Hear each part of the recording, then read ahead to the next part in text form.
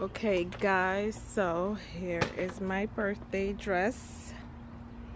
I'm about to spray paint like this section here in yellow, like all this and this. So hopefully it'll come out looking amazing.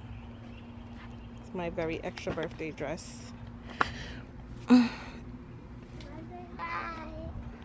I'm gonna set the camera up over here.